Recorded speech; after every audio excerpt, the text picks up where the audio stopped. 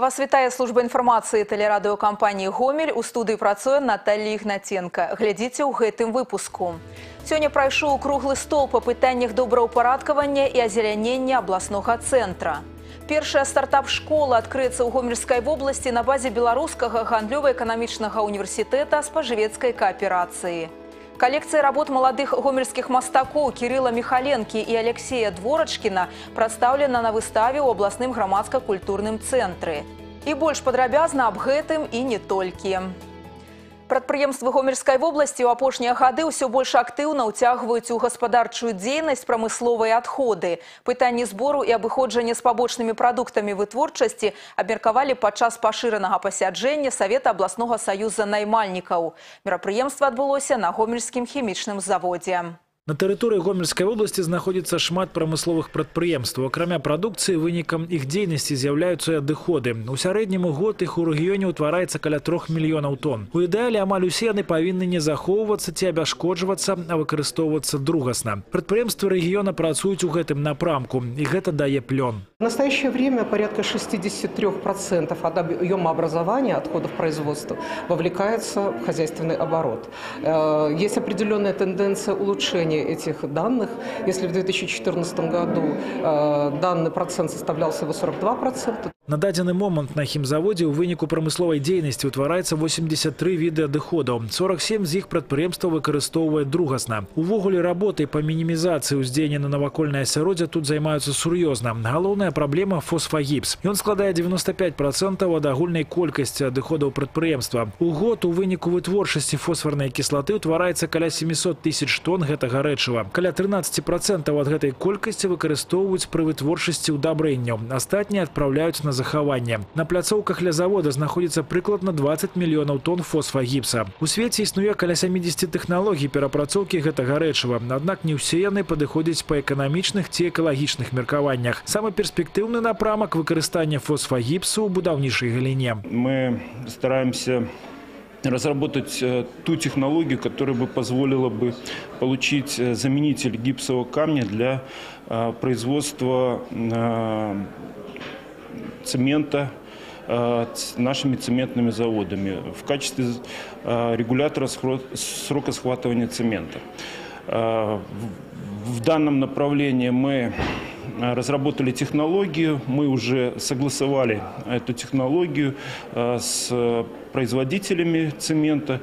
И надеемся, что через пару лет сможем выйти на производство заменителя гипсового, заменителя гипсового вяжущего для того, чтобы использовать его вместо гипса, который закупается за валюту нашими предприятиями. Дарэчы, пробную парту заменніка прыроднага гіпсавага каменя на заводзе плануюць атрымаць у 2018 годзе. Максим Савін, Яўген Макенка, тэлерадыёкампанія Гомель. Маладыя каштаны ў хуткім часе могуць з'явіцца на вуліцах Гомеля і зялёных зонах. На прадпрыемстве чырвоны гваздзік заклалі плантацыю гэтых дрэў. Яна налічвае 4 тысячы саджанцаў. Аб гэтым паведамілі падчас круглага стала па пытаннях добраўпарадкавання і азелянення абласнога цэнтра, які адбыўся сёння ў гарвыканкаме.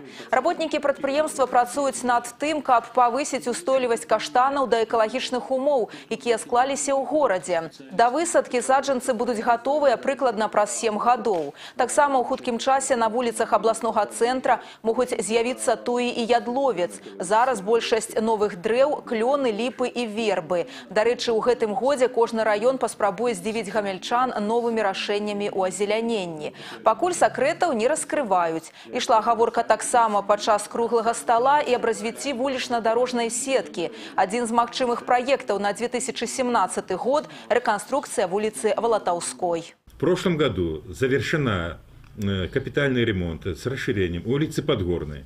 Продолжением улицы Подгорной является улица Волотовская на участке от э, речного порта до улицы Советской. Вот э, в два этапа рассматривается продолжить это, потому что эта часть хорошо сделала. Едем Мазурова, поворачиваем на Подгорную, и опять нужно, чтобы выехать на Советскую, нужно... Этот проект, да, ожидается.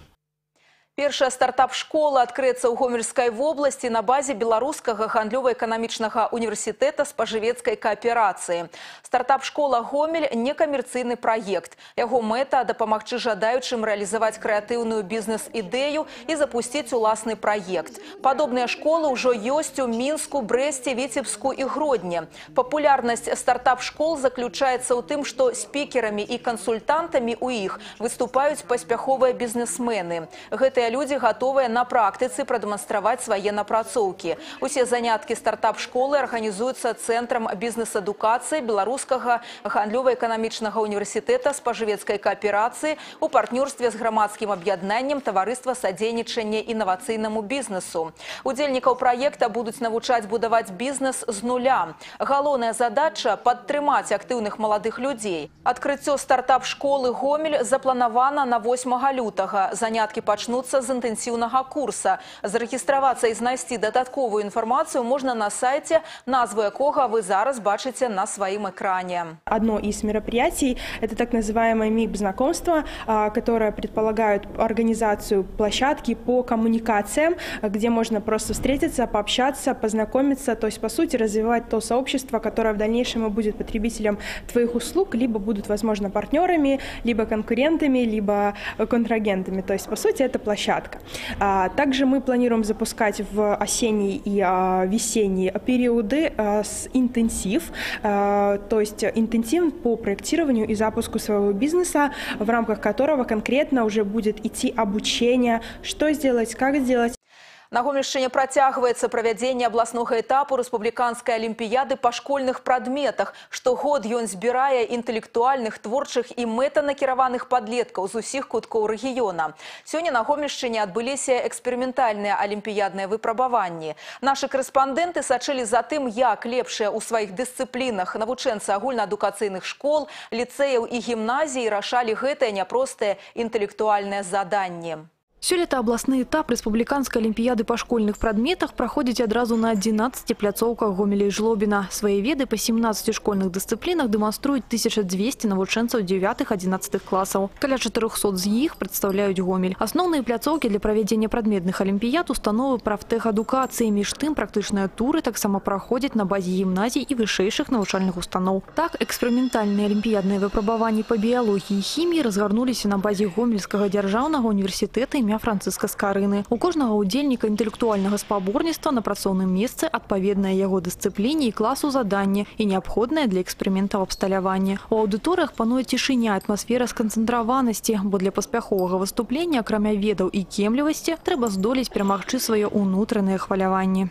Школьники сейчас переживают, вы видели, как они думают только о своих заданиях. Самое главное, вы знаете, не столько даже может, что школьник знает много, а вот из этого много выбрать то, что необходимо именно в данной задаче. Иногда мы нервничаем, иногда из-за этого вот состояния ребята не могут точно ответить на то, что им надо. А тым часам у сценах гімназіі нумар 56 горада Гомеля па добрай традыцыі праходзілі эксперыментальныя алімпіядныя выпрабаванні па фізіцы. У кожнай узроставай паралелі 9-11 класаў па дзве свае задачы і неабходнае абсталяванне. Члены журы запэўніваюць заданні, складзеныя ў рамках школьнай праграмы, аднак каб з імі справіцца, трэба быць асабліва пільнымі і аднавіць у памяці ўвесь вывучаны матэрыял. Это разные задачи, все интересные, во всех есть над чем подумать, но удивительным образом все решаемые. И школьного уровня достаточно, но это должен быть очень хороший школьный уровень. Надо знать все и не по верхам, а надо знать глубоко.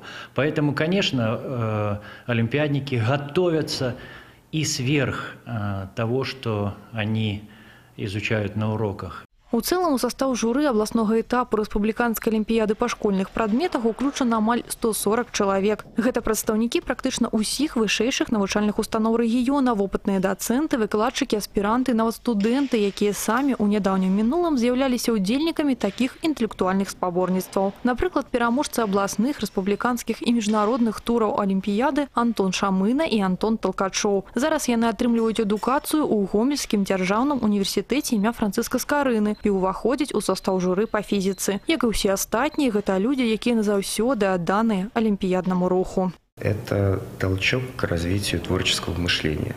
После олимпиадных задач воз- возможно решать задачи практически любого уровня с нестандартным подходом. Это может пригодиться же не только в физике, в любых других науках, даже в жизни. Вот. Также воспитывается и целеустремленность, настойчивость, упорство в достижении своих целей. Олимпиадное движение в школе дает очень хорошую базу для дальнейшего обучения.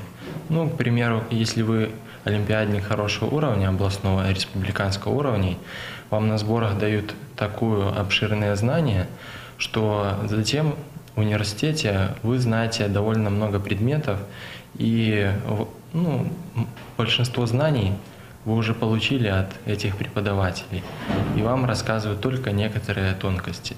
Сумарныя вынікі тэарэтычных і практычных тураў алімпіяды будуць падведзены ў бліжэйшы час. На найбольш масавых пляцоўках цырымоніі закрыцця спаборніцтваў запланаваны на 13 студзеня. Між тым пераможцам абласнога этапу алімпіяды, якія ўвойдуць у зборную каманду ў гомельскай вобласці, доўга адпачываць не прыйдзецца. У хуткім часе ў іх пачнецца не менш адказны і напружаны жыццёвы этап падрыхтоўка да рэспубліканскага фіналу. Вераніка Варашыліна, Яўген Макенка, тэлерадыёкампанія Гомель.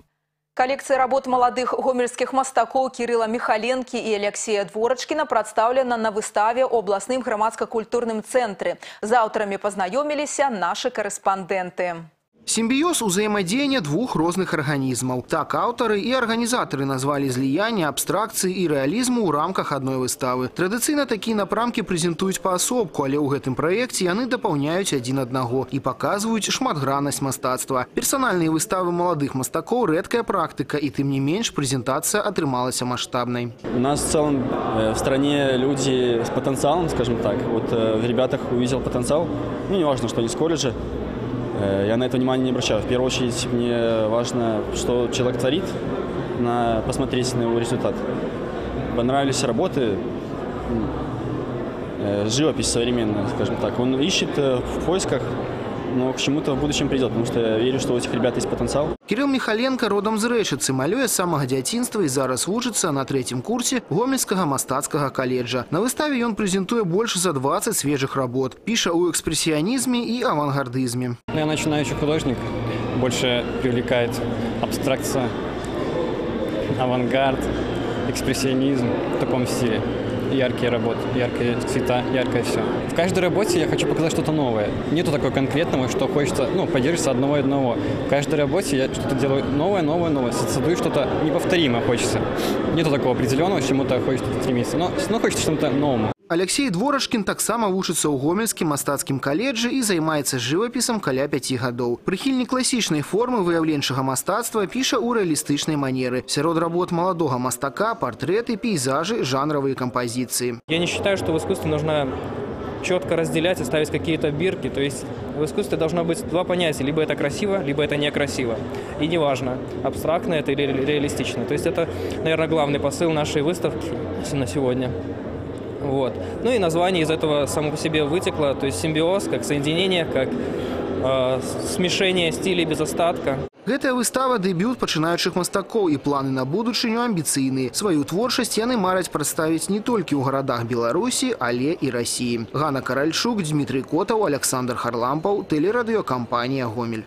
І аб спорце. Гамельчанка Вольга Сілкіна заваявала медаль адкрытага Кубка Беларусі па сучасным пяцібор'і. Турнір праходзіць у Мінску. Вольга Сілкіна заняла трэцяе месца на спаборніцтвах сярод жанчын. Перамагла лідар беларускай зборнай Настасія Пракапенка. Срэбра заваявала Тацяна Халдоба. Мужчыны вызначаць пераможцаў сёння.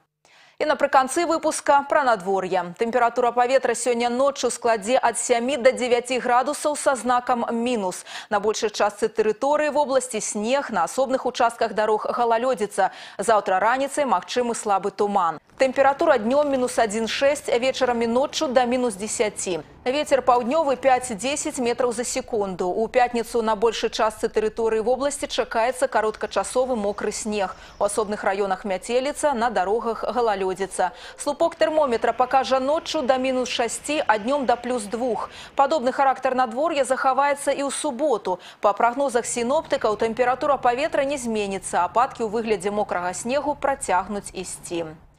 Вы глядзелі інфармацыйны выпуск тэлерадыёкампаніі Гомель. У студыі працавала Наталья Ігнаценка. Мы сочым з развіццём падзей у Гомелі ў вобласці. Заставайцеся з намі.